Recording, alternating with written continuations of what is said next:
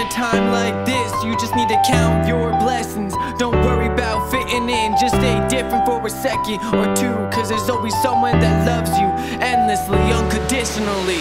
Whether it's a lover, mother, father, brother, sister, grandma, grandpa, just stay humble.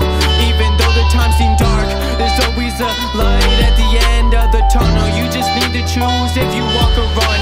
It might be a struggle, but